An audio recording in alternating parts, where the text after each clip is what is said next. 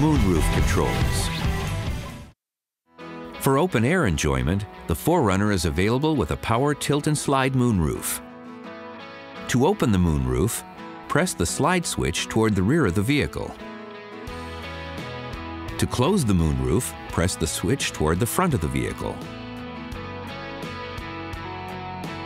To tilt the moonroof open, first be sure the sunshade is opened, then press the up switch to tilt it up.